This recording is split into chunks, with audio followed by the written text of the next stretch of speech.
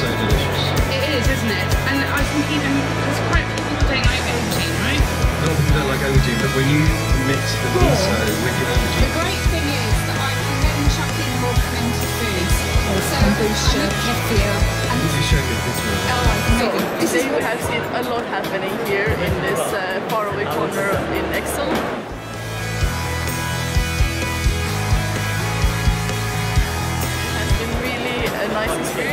Because it's not quite as as normally when you go to Veg Fest or different events like this.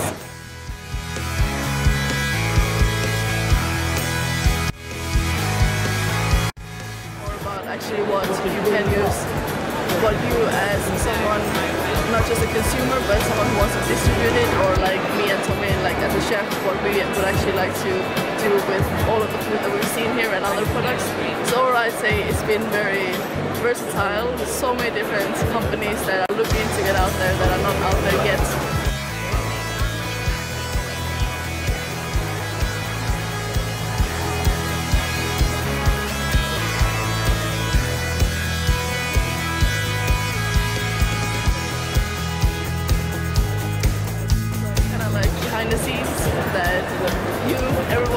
Soon find out what we just saw here. So it's been really exciting actually to be here. Yeah, I appreciate being here. Awesome. And uh, do you want to say something quickly about all the free stuff we got?